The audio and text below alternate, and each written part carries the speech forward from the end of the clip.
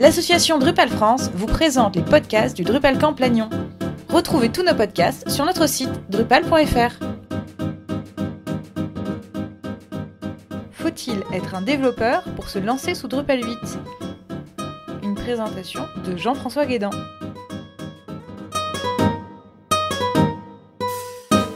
Je fais l'analyse d'expérience utilisateur euh, par rapport justement à des futurs contributeurs à l'OMS, je répète pour certains qui euh, n'ont de Drupal et qui débutent même dans le monde Internet. Et euh, je forme donc justement un public totalement novice sur Drupal. Donc euh, j'hésite à me lancer sur, sur, Drupal, pour ceux peut-être qui ne l'ont pas encore fait. Euh, donc ok, mais à partir de, il faut se poser la question, quel est votre, votre choix, à partir de quoi il est fondé? Donc la première question qu'il faut se poser, quand on se lance pour un site, est-ce que je vais le faire sur Drupal ou un très très gros CMS très connu mondialement, on vous a parlé tout à l'heure, qui est le fameux WordPress, qui a une réputation du public. Euh, donc la question à se poser, c'est pour quel type de site? Est-ce que c'est un petit site pour une association, par la limite euh, un blog, bon peut-être pas sur Drupal, quoique ça pourrait se faire. Euh, est-ce que c'est pour un site d'un commerce, du boulanger du coin, tout ça? Ou alors c'est pour un site vraiment d'une grosse entreprise Là, la question est très importante. Je choisis, je ne choisis pas Drupal. Alors sur le net, il y a quand même quelques pistes d'orientation. Elles ne sont pas de moi, mais j'ai fait une petite synthèse qui dit, par exemple, pour un site vitrine ou un site institutionnel, qui est dans le cadre du projet de, l'établissement public, bah, voyez, on prend WordPress, Drupal 8 est juste en deuxième. Après, il y a Joomla, il y a Slip. Pour un blog, bon, évidemment, on ne voit pas Drupal 8, hein, c'est WordPress et WordPress. Pour un site de type marketing, donc Drupal 8, ils publish WordPress pour, un, pour les réseaux sociaux, Drupal 8 se positionne bien aussi avec WordPress. Pour un intranet, pour ceux qui sont en entreprise, Drupal 8 aussi euh, a sa place. Et euh, en matière d'e-boutique, eh ben, il y a Magento, le, célèbre CMS euh, e-commerce, mais il y a Drupal Commerce, et la version 2 est sortie il n'y a pas très longtemps. Donc la réputation sur la toile, hein, donc globalement, c'est un CMS très puissant, il est très modulaire, il est très flexible.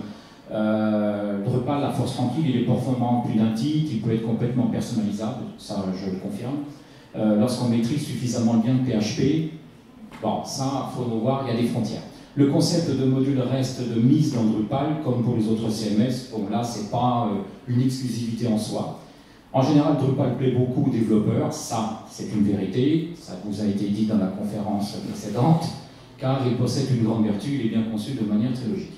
Il est très complet, mais réservé à des utilisateurs avertis. La courbe d'apprentissage est longue. Oui, ça, ne faut pas se mentir. On ne se met pas sur Drupal en deux semaines. Mais on peut se mettre sur Drupal inférieur à trois ans aussi. Euh, configuration complexe à cause du manque de comptabilité, ça c'est pour les mises à jour. Drupal offre de nombreuses possibilités, il est idéal pour les projets communautaires de petites et moyennes entreprises. J'en ai fait une seconde page, bon, euh, euh, comme je pense que les, les, comment, les les slides seront mis après en ligne. Je vous laisse euh, les lire, on ne va pas s'amuser à lire parce qu'on prendrait trop de temps. Donc c'est puisé sur Internet, euh, vous verrez euh, des avis quand même qui sont très divergents. Donc Drupal, c'est quoi au juste? Bon, c'est un système, tout le monde a compris, CMS, open source, ça c'est vrai, il faut, le préciser. Il est totalement écrit en PHP, et comme il y a une présentation, je vais parvenir sur l'histoire qui a été faite par Dries Utrecht la petite euh, goutte d'eau hein, qui, est gonflée dans le hall, puisque le, Drupal voulant dire goutte d'eau. Donc c'est l'histoire de la petite goutte d'eau, elle vient de là. Donc c'est un outil qui peut être pour débutants, confirmés, développeurs. J'aurais tendance à dire quand même qu'il est ouvert à tout public, ou, tout niveau. Flexible, il peut répondre à une très grande majorité des besoins du marché. Euh, il est adopté pour de nombreux particuliers, et il n'est pas forcément exclusivement ou uniquement en grandes entreprises, de tout secteur, activités confondues site sous Drupal, bah, il y a le gouvernement français, hein. la Maison Blanche, hein, les Américains euh, quand même pris Drupal pour euh, faire la Maison Blanche, donc ça donne une image du côté de la sécurité. Hein. Maison Blanche, quand même, on, peut deviner que ça peut être un site attaqué. Voyage SNCF, quand vous commandez vous faites rechercher votre billet de train réservation, c'est Drupal qui est derrière. France Info, le ministère du Budget, donc euh, nos sous, nous citoyens français, sont gérés à partir d'un site Drupal. Euh, il y a le Carrefour, il y a Sciences Po, hein, il y a Édition du Nord, un book.fr, bon, etc., etc. La liste est quand même relativement longue. Sur Internet, si vous voulez en savoir plus, euh, il y a des sites qui donnent, bon, elle n'est pas totalement complète, mais plus fournie que la mienne. Je vais passer très rapidement. Hein, j'ai fait quelques slides, j'étais pas sûr ou pas de l'installer Drupal, donc vous pouvez l'installer en local sur votre micro sans forcément avoir un serveur ou pour avoir un, un, hébergeur avec les outils qui s'appellent WAMP, XAMPP ou MAMP. MAMP pour les Mac. C'est gratuit, vous installez ça, euh, c'est très intuitif pour euh, installer ces genres d'outils. Ça vous crée un mini serveur web local et ça suffit pour installer euh, un Drupal 8 sur votre micro. Ou si vous préférez, ben, vous pouvez tester sur ce site-là, qui est en anglais par contre. vous pouvez tester une install de Drupal. C'est gratuit aussi et ça vous permet déjà d'avoir une approche avant de faire le petit WAMP sans WAMP. Donc euh, la première chose c'est de créer, donc après fichier zip, une base de données. Donc, je passe assez rapidement puisque je ne vais pas vous faire un cours euh, là, mais c'est comme install Drupal. C'est en petites étapes, hein, euh, donc c'est en français comme vous pouvez le voir. Ça vérifie les des prérequis. S'il y a des soucis comme là sur votre machine, ça le dit avant d'aller plus loin. C'est quand même très attentif, sans pour autant être développeur pour pouvoir régler les petits soucis. Ça, voilà, vous dites paramétrer vite fait votre base de données, ça est intuitif.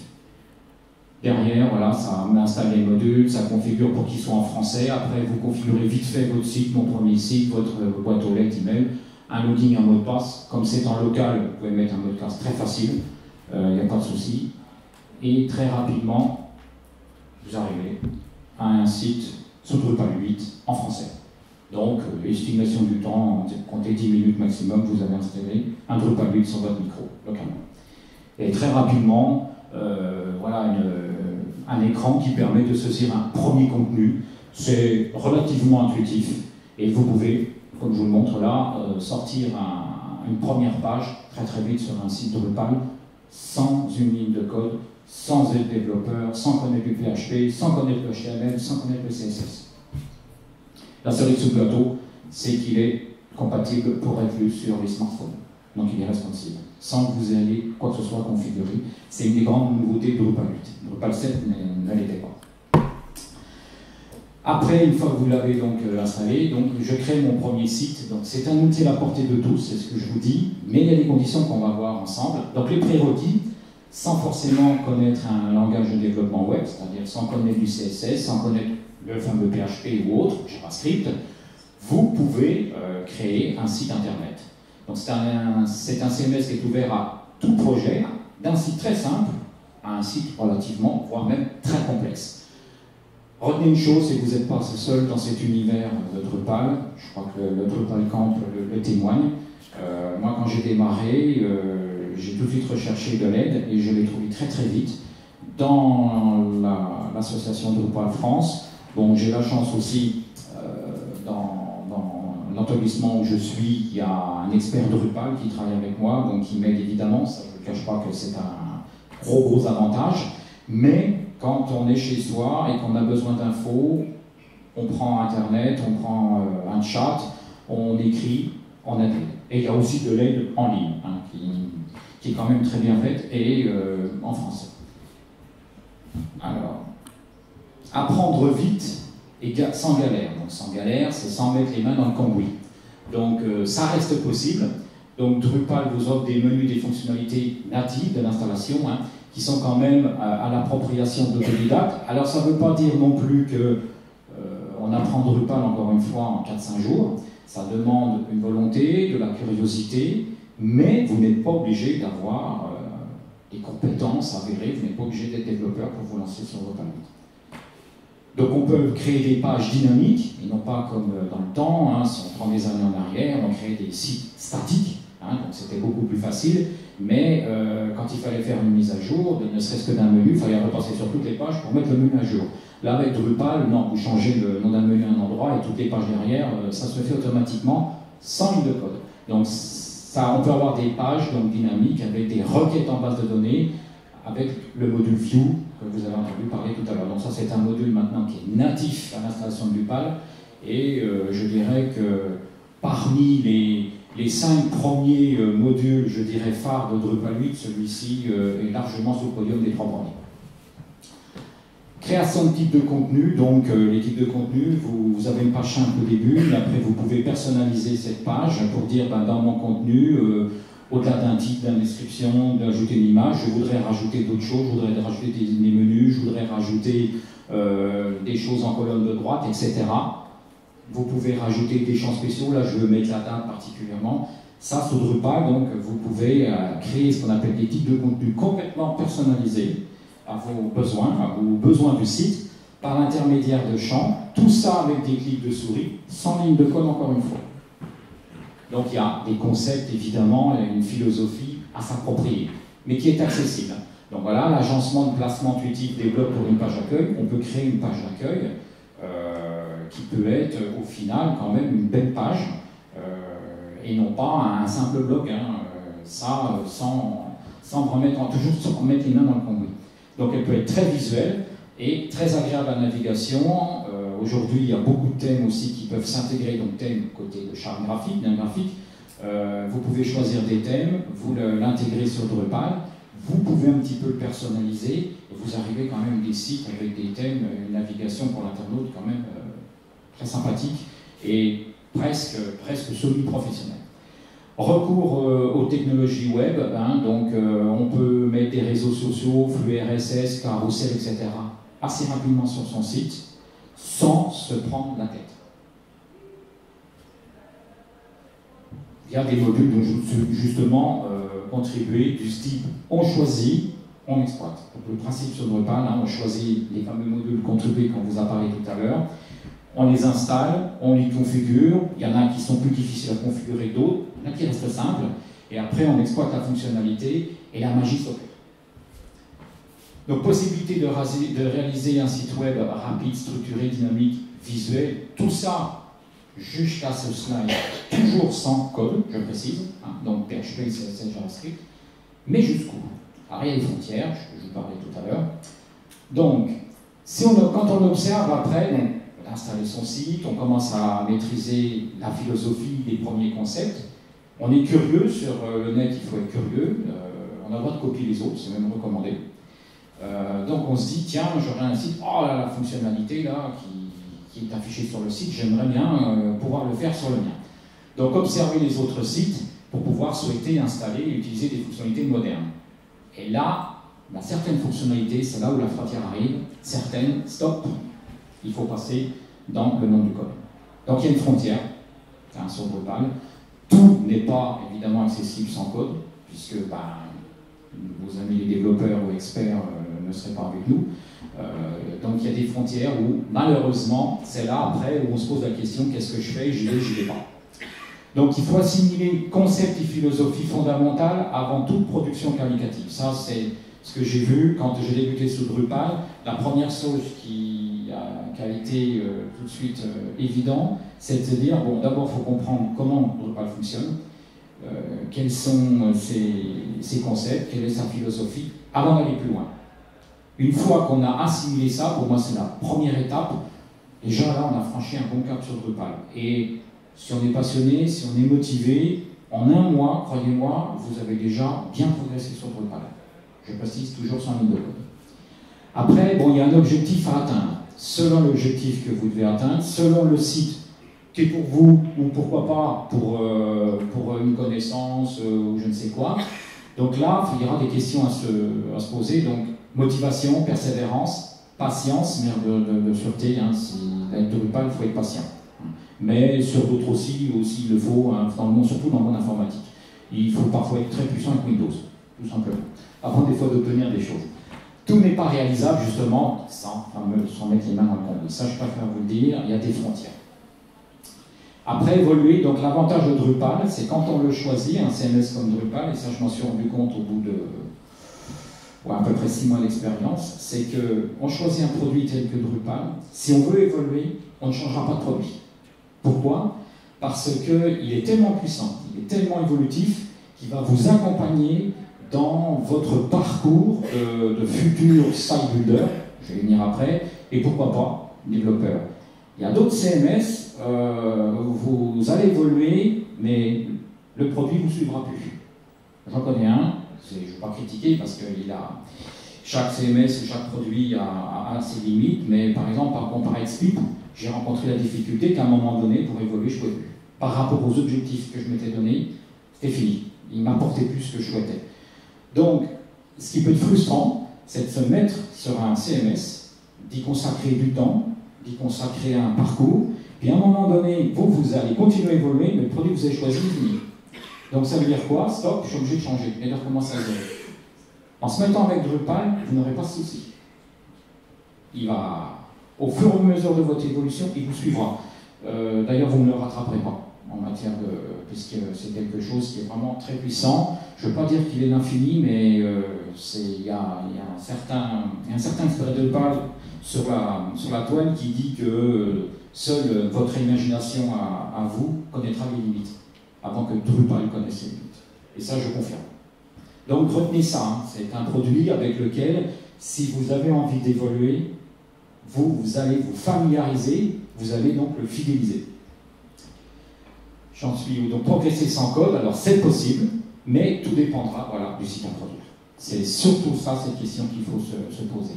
Donc j'ai fait euh, un léger euh, petit humour, euh, if site association hors blog, hors perso, hors other, simple égale no code. Donc en français, si c'est un site de type association, bon blog honnêtement, blog avec Drupal, je ne sais pas, vous voir. site perso ou autre site simple, n'avez pas besoin de code. Sinon, dès qu'on passe sur un site pro, là, le code arrive. Donc quand je dis code, en premier lieu, le PHP. Donc débutant expert, les, étapes et le chemin, tu franchiras. Ça, c'est vrai, attendez-vous à monter marche par marche avec de la patience. Ça fait deux ans que je suis sur Drupal. Euh, je ne suis pas du tout développeur, hein, absolument pas. Là-dessus, euh, je ne prétends pas l'être. Euh, je vais débuter le PHP parce que justement, j'ai envie d'évoluer. mais ah, depuis deux ans, je fais du Drupal sans être développeur, sans une ligne de code. Donc, profil écosystème Drupal, bon, euh, les webmasters, les site builders, l'intégrateur Temer et développeur. Donc, on dit voilà les quatre fameux grands profils qu'on peut trouver sur Drupal. Donc, le webmaster, que vous pouvez, ou webmaster en français, que vous pouvez tous, à mon avis, acquérir et de devenir. Euh, donc, vous, vous construisez un site, vous l'agencez, vous l'équipez, euh, tout ça à la souris, vous créez le contenu, vous mettez à jour le contenu, vous vous occupez de l'achat graphique, vous devenez webmaster, de votre site. Le site builder, qu'on parlait tout à l'heure, c'est le fameux développeur sans à la souris. Donc ça porte bien son nom, c'est-à-dire que euh, il va, donc c'est plus haut que le, webmaster, c'est-à-dire que c'est une personne qui réalise donc un site sans développer en utilisant les modules contenus. Ça sous-entend que pour devenir site builder, il faut non pas connaître tous les modules de Drupal, hein, un petit information sur Drupal 7, c'est 13 000 modules. Donc euh, je ne connais pas quelqu'un qui les connaît, les 13 000. Mais sur Drupal 8, pour l'instant, euh, je, je regarde de Kevin, mais je suis. Je crois que j'ai entendu parler de 1300 pour l'instant qui serait distable. Je ne sais pas, ce chiffre est peut-être à vérifier, j'ai entendu ça. Donc déjà, vous voyez qu'entre Drupal 8 et Drupal 7, le monde des modules contribués n'est pas encore aussi mûr que celui de Drupal 7, ce qui fait que certains sont restés sur Drupal 7. C'est aucune raison. 13 000 modules, vous imaginez, vous souhaitez une fonctionnalité, vous regardez dans la liste, vous l'installez, pof, la fonctionnalité, vous l'avez, sans développement. Sur Drupal 8, ça commence, mais c'est pas aussi mûr.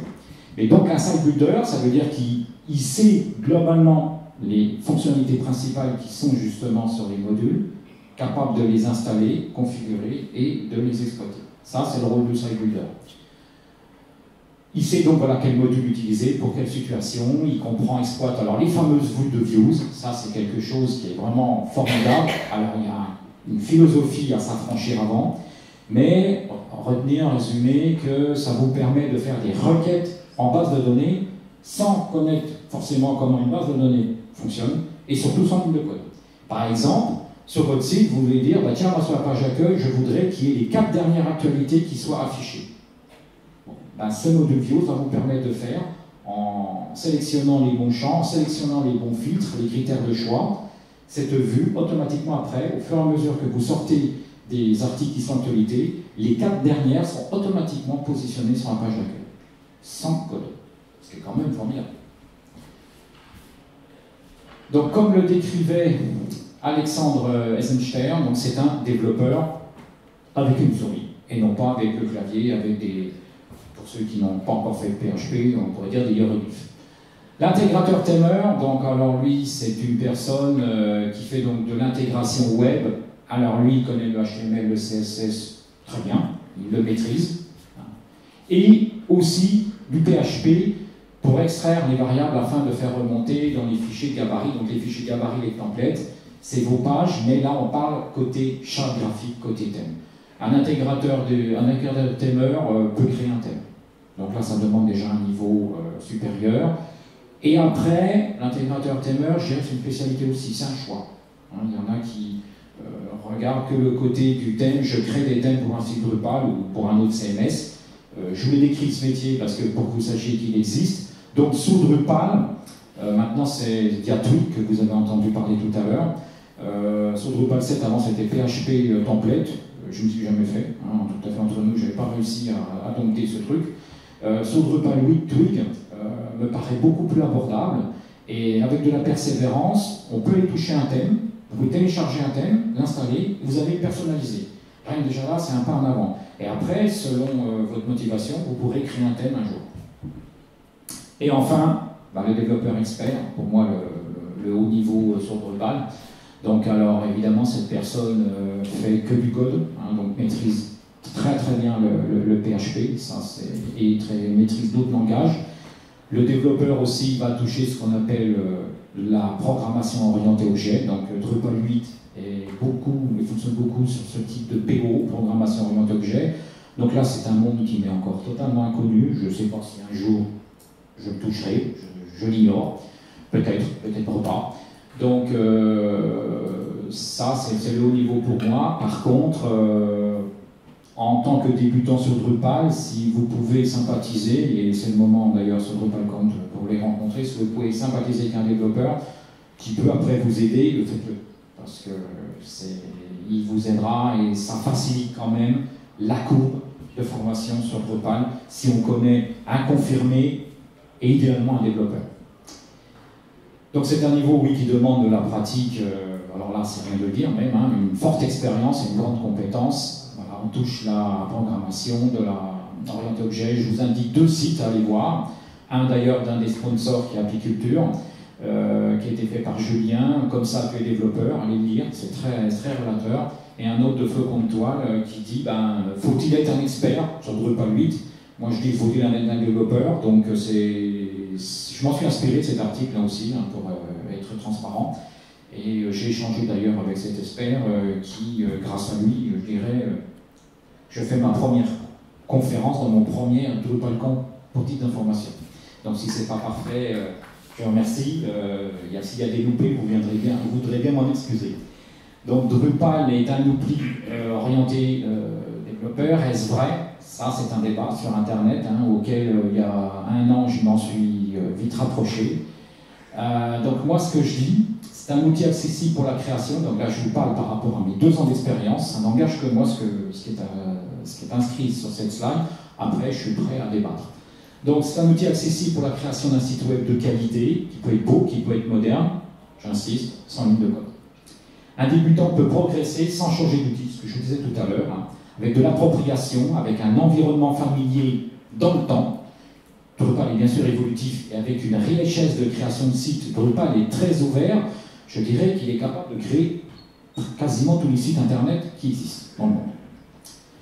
Donc monter en compétences diversifiées, c'est-à-dire qu'aujourd'hui je suis débutant, euh, peut-être que dans 3-4 ans je serai un bon site builder, et peut-être que dans 6 ans, bah, vous pouvez devenir développeur, tout en restant sur cet outil.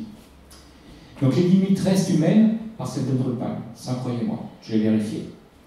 Une communauté active, qui vous a été présentée tout à l'heure, volontaire et active, Kevin d'ailleurs qui nous témoigne euh, de cette communauté active, très sympathique. Vous n'êtes vraiment pas seul dans l'univers de Drupal. Ça, c'est une réalité. Hein. Ça, je m'en suis vite rendu compte. Euh, quand on démarre sur un outil comme Drupal, très très vite, euh, j'ai trouvé du monde qui est prêt à m'aider, qui, qui, est volontaire, qui est disponible et surtout qui nous encourage. C'est pas valable sur tous les CMS, croyez-moi un environnement fonctionnel et modulaire. Donc il y a des faces obscures, j'ai fait un petit clin d'œil à Star Wars, de l'outil. Donc la frontière où le développement entre en scène, je voudrais bien, mais je peux point, ça je l'ai conjugué plus d'une fois, je le conjugue toujours. Parfois, il n'y a pas si longtemps que ça, pas la semaine dernière ou la semaine d'avant, j'étais frustré Je voulais faire quelque chose, j'ai téléphoné à l'expert favori. Ah, il m'a tout de suite répondu, écoute là, mon gars, faut coder. Bon, voilà. Donc, donc là, il y même des, frontières. Ça peut devenir des frustrations. Ne vous découragez pas. Euh, chaque chose en son temps, il faut être patient, mais on peut y arriver. Donc tout n'est pas accessible sans coder. Ça, c'est une réalité pour mener à terme un projet web. C'est un outil pour tous les niveaux, mais qui peut freiner des ambitions. Ça, c'est vrai qu'en cours de route, attention, Drupal peut être décourageant, peut vous faire jeter l'éponge. Il faut vous y attendre. Après, tout à chacun, vous avez votre moment de déprime, vous passez une semaine, vous y revenez, vous repartez ou vous abandonnez. C'est vrai que, euh, pour ce qui me concerne, euh, j'ai eu des occasions de jeter l'éponge, je ne vous le cache pas. Et après, j'ai dit, bon, après, euh, tu as fait tant d'efforts, arrêtez là, c'est dommage. Et vous voyez, je suis encore là et je vous fais même une conférence. Donc Drupal, un outil orienté développeur, pourquoi cette réputation? Alors ses origines bah, étaient vraiment pour exploiteurs. Drupal, quand il est né, de mon point de vue, il était vraiment fait que pour exploiteurs. Hein. Que pour euh, développeurs, pardon, excusez-moi. Un premier contact avec... Euh, un premier contact de la philosophie concept pouvant être non intuitif pour un débutant. C'est vrai que les concepts de la philosophie Drupal, quand j'ai débuté sur Drupal, on m'a parlé de taxonomie, je dis qu'est-ce que c'est que ce truc? Franchement, il la taxonomie est utilisée dans le monde de la biologie. J'ai dit, voilà, j'ai mis les pieds dans quoi là Qu'est-ce que c'est que ce CMS Si on parle de la science, si c'est un CMS pour chercheurs, il fallait me le dire avant. Non, pas du tout. Après, euh, avec Wikipédia, Google, on voit ce que c'est que la taxonomie et on se rend compte que c'est quand même très très puissant. Donc voilà, ce type de philosophie, attendez-vous en disant, voilà, il faut, l'assimiler. La taxonomie, euh, croyez-moi, en deux jours, on l'a compris sur Drupal. Des prérequis incontournables, fondamentaux web, réseau informatique. Bon, il y a un minimum de base web. Hein, me démarrer, enfin, ne m'atterrez pas sur Drupal sans savoir ce que c'est qu'une URL. Je ne pense pas que dans cette salle, personne ne sait ce que c'est qu'une URL. Euh, voilà. Déjà, il faut avoir les fondamentaux de l'Internet. Une création de site web sur Drupal majoritairement réalisée par des professionnels, c'est vrai. Il y a plus de sites web réalisés par des agences, par des pros, par des freelances, que par des particuliers à son inverse de WordPress, où c'est plutôt beaucoup de particuliers, bien que WordPress est en train aussi de, de monter sur le monde euh, des sites professionnels. Une création, donc euh, des fonctionnalités non accessibles sans coder, pour la création de modules personnalisés, la customisation de pages, la création de thèmes graphiques, le fameux thèmeur, une appropriation du fonctionnement entre les composants, tout ça, c'est des choses à s'affranchir, hein, qui peuvent être décourageantes et un résultat des analyses comparatives, et oui, donnant un certain, on ne pas le citer là, CMS en tête dès qu'il s'agit du tout public. Ah, un gros gros point faible de mon point de vue sur Drupal et qui est toujours, hein, je, le dis d'ailleurs aux développeurs et aux experts qui sont là, j'en profite pour le dire, la doc. Alors là, quand j'ai débuté sur Drupal, pour trouver la doc, accrochez-vous. Trouver des bouquins sur Drupal, oui, mais en anglais. Vous êtes content. Moi qui ne pratique pas l'anglais, ben, je dis, euh, ça me rend bien. Alors je rêve, et je rêve toujours, Drupal pour les nuls. Il est toujours pas fait. Alors je suis prêt à participer pour l'écrire, mais tout seul, je ne suis pas encore prêt. Donc s'il y a des bonnes volontés dans la salle, euh, on peut peut-être se contacter après. Franchement, pour les débutants, ça manque. Pour moi, ça, la, doc, euh, elle, manque. Ça, c'est un gros, gros défaut par rapport à d'autres. La traduction, bon, il est de plus en plus traduit en français, c'est vrai, mais je dirais, euh, comme dans l'éducation nationale, euh, peut mieux faire ou des efforts encore à faire. Mais il y a quand même un très gros travail. Il faut savoir que ce travail est quand même euh, bénévole hein, pour euh, la traduction. Donc là, déjà là, en soi, respect. Donc le support Drupal français est au fait. Oui, je sais, que c'est en cours. Hein, il y a un nouveau site qui va sortir sur Drupal France avec un espace un peu plus axé, et je le dis d'ailleurs pour un public débutant, un espace dédié pour l'accompagnement pour les débutants sur ce site de Drupal France je sais que j'ai été entendu sur ce volet-là et je vais y participer. Donc une puissance, modernité évolutive incontestable, mais à quel prix? C'est vrai, la patience. Soyez patience pour dompter le monstre. Une clarification des frontières de compétences manquantes, profil pour les... Ça, je l'ai beaucoup ressenti. Je voudrais créer ça. Quelles compétences comment Aujourd'hui, si vous allez sur le net, c'est pas clairement marqué. Pour faire telle fonctionnalité, quels sont les prérequis ou qu'est-ce qu'il faut être sur Drupal. Je l'ai appris comme ça sur le terrain, mais des fois j'aurais bien aimé le trouver. Une promotion, une communication de Drupal qui est quand même très souvent, majoritairement, on sent que ça s'adresse aux développeurs. Puis le débutant qui voudrait s'y mettre, ben, il ne se reconnaît pas dans cette promotion, dans cette publicité, ce qui fait que la majorité ne font pas le pas. Et je vous dis à tort. Pourtant, Drupal, justement, est ouvert aux débutants. Le changement de version peut s'avérer délicat en fonction des modifications apportées. Bon, ça, c'est un écueil qu'il faut avoir à l'esprit, mais ce n'est pas le principal écueil quand on débute. Voilà, donc l'essentiel euh, vous est dit. Donc deux années d'expérience, hein, toujours en pleine courbe d'ascenseur pour devenir un site builder. Je n'abandonne pas l'aventure.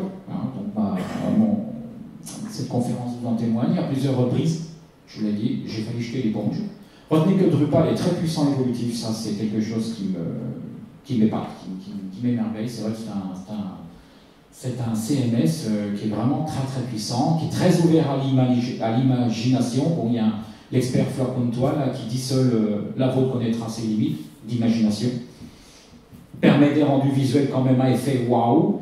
La conférence qui suit derrière moi va vous montrer ces effets waouh grâce au module paragraphe qui a été cité dans la, euh, dans la, comment, je dans la conférence précédente.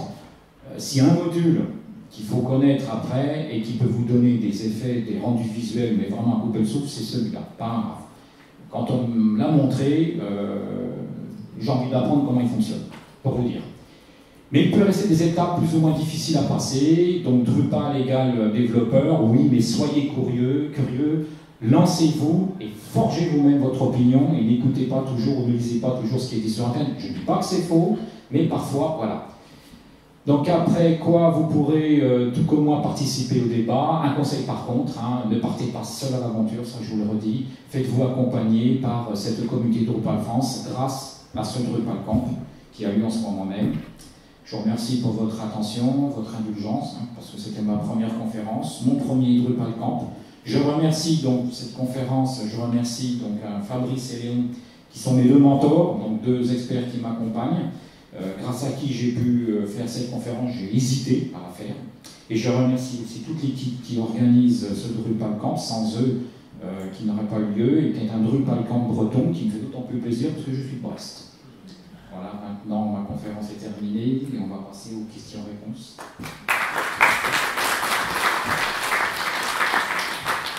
Donc oui, si vous avez des questions, on a quelques minutes. On a aussi Julien qui est l'auteur d'un billet de blog qui a été cité, qui est là-haut, qui est en train de travailler, donc on peut, euh, on peut le déranger sans souci. Et euh, si vous avez des questions donc sur la conférence ou sur le site building en, général.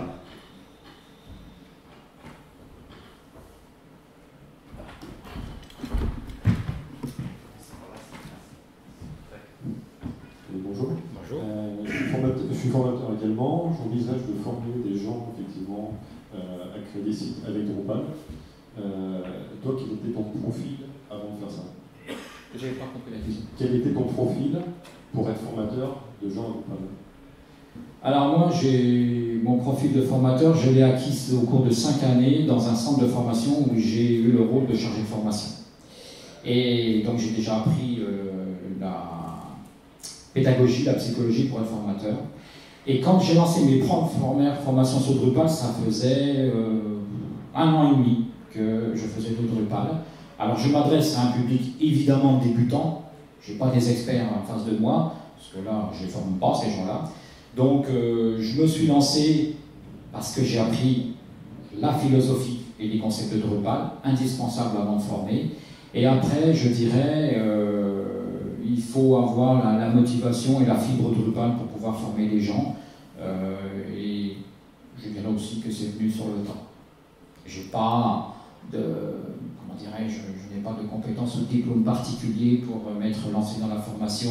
Alors peut-être aussi que ça peut être inné aussi, on a chacun chez soi des fois euh, ce qu'on appelle des fois des dons, des motivations, un feeling. Euh, évidemment, former les gens, c'est pas donné à tout le monde, mais c'est une expérience très, très motivante. Donc voilà, euh, est-ce que j'ai répondu à ta question C'était ça que tu souhaitais? Oui, d'accord. Euh, du coup, autre question. Euh, je bravo pour ta, ta première conf. Merci. Euh, du coup, moi, je suis donc lead dev. donc, j'ai souvent l'occasion de faire monter en compétence justement sur Drupal des personnes, des développeurs PHP notamment, qui ne connaissent pas Drupal. tout à l'heure, tu parlais des principales faiblesses, notamment au niveau de la documentation. Est-ce que tu en as rencontré d'autres ou enfin, toi ou d'autres personnes ici dans la salle, d'autres points bloquants qui vous ont un petit peu bah, empêché de monter assez rapidement en compétences sur Drupal Hors, hors la doc Ouais, hors la doc. Parce que la doc est le premier écueil. Hein, de... Alors, oui, j'en ai rencontré. Ce qui faisait fuir, bon, déjà, c'est la, philosophie de Drupal, euh, dans le sens où euh, quand ils installent Drupal et qu'ils veulent monter un site, euh, ils se rendent compte que tous les outils ne sont pas disponibles. Donc il faut aller chercher les modules contribués, il faut savoir où les chercher, ça c'est pas le plus compliqué. Mais j'ai oublié de vous dire une chose, c'est que la liste des modules contribués sont en anglais. moi qui ne pratique pas l'anglais, pas toujours évident. Donc ça c'est un premier écueil. Après, euh, il faut l'installer, le configurer et l'exploiter. Et cette multitude de briques à installer a été aussi quelque chose qu'on repoussait et qu'on fait abandonner certaines personnes en disant euh, Ok, je peux développer tout de suite un site très très vite, pas quand je dis développer, c'est une erreur, je peux mettre en route un site très très vite rien qu'avec les outils installés nativement, mais euh, quand ils veulent évoluer, ben, les gens s'attendaient à des choses plus intuitives, euh, plus faciles, dans le sens où, alors la doc aussi, hein, il y, a une correspondance en tant que, par exemple, si on avait une doc de comment installer un module, comment le paramétrer, expliquer la philosophie, peut-être que ça aiderait aussi. Pour moi, le plus gros écueil, c'est le nombre de docs sur, Drupal. Sur Drupal 7, sur Drupal 8, on ne peut pas dire que la doc, elle brille, il y en a, mais c'est quand même des livres pour développeurs si on y regarde de près. Drupal pour les nuls, bon, c'est un exemple hein, que j'ai cité, mais on pourrait l'appeler autrement. Ou Drupal pour les débutants, je, il n'existe toujours pas. Pour moi, c'est un manque cruel parce que si il euh, n'y a pas un livre qui. C'est la vision d'ensemble qui manque, en fin de compte, sur ce CMS. On a des informations parcellaires sur le net, comment faire ci, comment mettre une vue en place, mais on n'a pas la doc qui permet de tout assembler, et pour dire ça commence là, ça passe par là, et ça finit par là. Et ça, ce côté de manque de doc parcellaire, de manque de doc de vision d'ensemble, plus cette addition de modules, a fait décourager certaines personnes. Oui. Merci. J'ai répondu. Euh, ouais. Dans, les écueils, j'ai rencontré le problème de changement de code de version. Mmh. C'est dans les fichiers, donc euh, ça peut. Vous pouvez répéter la question dans les micros, s'il vous plaît Oui, pardon. Euh, pour les, les, difficultés que j'ai rencontrées également quand moi je me suis formé à Drupal, donc moi j'ai mis un an tout seul à me former à Drupal. Euh, voilà. Il y a le changement de corps, donc on est obligé de passer par la gestion de fichiers et il n'y a pas un bouton euh, changer de version. et dans les autres difficultés aussi, c'est le, le, choix pour faire une fonctionnalité. On a parfois 4-5 modules qui proposent des fonctionnalités proches et il faut faire un choix. Et c'est partie des difficultés que j'ai rencontrées. Je confirme. Est-ce qu'il y a d'autres questions? Vas-y, bah, parle fort. Non, mais à la fin, s'il y a des questions, je vais pas Non, mais. Euh... Je, voulais juste apporter trois ou quatre précisions sur euh, ce que tu as décrit, euh, et merci pour la conférence. Le premier point, c'est que sur le Drupal pour les nuls, il y a ce qu'on appelle un user guide qui a été écrit pour Drupal 8 en anglais et qui est une initiative de documentation pour les débutants, et c'est une initiative à traduire, une de plus. Donc si vous avez la double compétence anglophone et francophone, et que vous avez envie bah, de découvrir, vous n'êtes pas obligé de savoir les choses avant de les faire, on peut apprendre en faisant. Et en participant à la traduction du manuel d'utilisation de, Drupal, ça, peut être un très bon moyen de découvrir Drupal et de, bah, découvrir des options de configuration avancée. Donc il y a une initiative euh, qui est de, participer à la traduction de, de ce guide d'utilisation.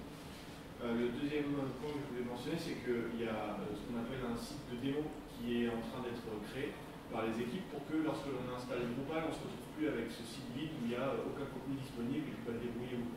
On est un profil d'installation qu'on installe qui va montrer un petit peu les capacités de Drupal. Et l'idée, c'est de, une fois qu'on a compris un petit peu comment fonctionnaient les types de contenus, les champs, la mise en place de, de la mise en place du site, qu'on puisse supprimer les contenus de démonstration et construire sa propre structure pour s'appuyer dessus. Ce qui sera aussi une façon de réduire le frein à l'entrée de, l'usage de données. Mhm. Et le, juste le dernier point que je vais mentionner, c'est sur le, de modules disponibles. Donc on est autour de 1500 modules stables aujourd'hui pour Drupal 8. Même si on avait 40 000 modules disponibles dans la base de code euh, historiquement, il ne faut pas voir ça comme une mauvaise nouvelle en fait. à chaque version majeure de Drupal, il y a du ménage qui est fait. Il y a des modules qui meurent parce que bah, ils, ne sont simplement pas utilisés, donc c'est pas forcément grave qu'ils soient plus là en Drupal 8. C'est juste que bah, c'était un besoin très mineur qui n'est pas utilisé. Il y a des modules qui sont intégrés dans le cœur de Drupal, donc mécaniquement bah, ils disparaissent puisqu'ils font partie du cœur et son périmètre fonctionnel est plus large. Et aujourd'hui sur le top 100, on a euh, euh, à peu près seulement une trentaine de modules qui sont même plus dans un état stable. Les autres ont été euh, soit intégrés, soit sont déjà dans un état stable. Donc le, moment de passer à Drupal 8 sur l'état de, la config, donc les modules supplémentaires que vous pouvez utiliser, on a passé ce câble, l'état il est mature. Il manquera potentiellement toujours des fonctionnalités, mais il ne faut pas se priver d'essayer et de voir des modules différents pour, atteindre vos objectifs. D'accord, merci. Merci pour les précisions. Moi, je suis totalement débutante. Euh, on commence par quoi concrètement? Ça fonctionne euh,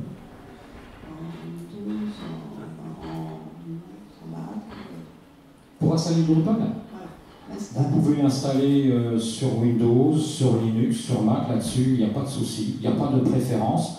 Euh, c'est ce que je disais euh, dans, les, dans, mes diapos au début, il y a les fameux WAMP, hein, qui vous un serveur web. Il y a le XAMPP, c'est ma préférence, je préfère le XAMPP que le WAMP. Et sur le Mac, il y a un allemand. Donc non, il n'y a pas de système d'exploitation exclusif, Windows, Linux, Mac, pas de problème pour installer cette partie serveur et installer Drupal derrière. Et quand on commence à zéro, on démarre par Drupal 8 Alors au jour d'aujourd'hui, oui, je réponds oui. Oui, il vaut mieux commencer par Drupal 8 et ne pas installer Drupal 7. Non, franchement, sans hésitation, Drupal 8. On les aura rapidement, les sur en ligne, les slides euh, Normalement, oui. Euh temps de les récupérer toutes, ce sera sur le site. Eh ben merci, euh, merci beaucoup. Merci.